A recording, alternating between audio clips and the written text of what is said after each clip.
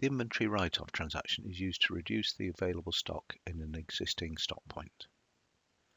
Once to reach it, we use the inventory menu and then we click on the inventory write-off. If we wish to write off part or all of a handling unit, we will enter the handling unit in the reference ID field. This then displays the quantity that is currently available and allows us to enter how many we wish to take out. We can either take out a proportion of the quantity or the entire handling unit. In this case, I've just taken out proportion. So now if we look at it, there are only 30 left. If I want to, I can take out the remainder and this will close that handling unit down. So that handling unit no longer has any stock and is not available. I can also write off stock at an individual item level.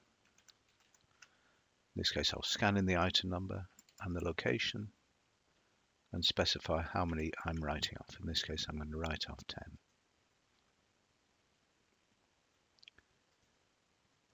If the item is lot controlled, then as well as scanning in the location, I'll need to specify which lot I'm removing the inventory from.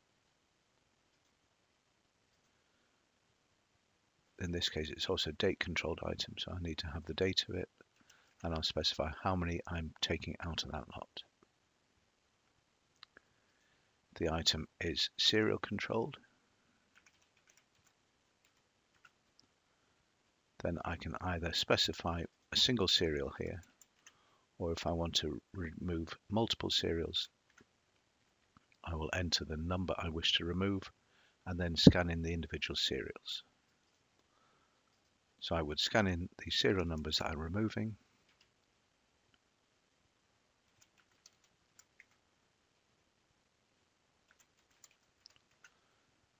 And the inventory will be accordingly adjusted.